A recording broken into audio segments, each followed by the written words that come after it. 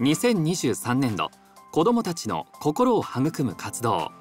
活動テーマガチャガチャでワクワクする時間を届けたい。受賞団体 NPO 法人プロジェクトサンタ兵庫県。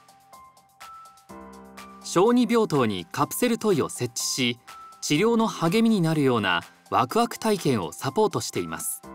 クリスマスのチャリティーイベントから通年の支援を目指して2017年に始めた活動は現在関西を中心に9つの病院で展開中です。治療のご褒美として引くカプセルトイは子どもたちの頑張る気持ちを高めるとともに笑顔や会話を引き出し医師や看護師家族の負担を軽減させています。また家族も癒せるイベントやプレゼント企画などを並行して実施しているほか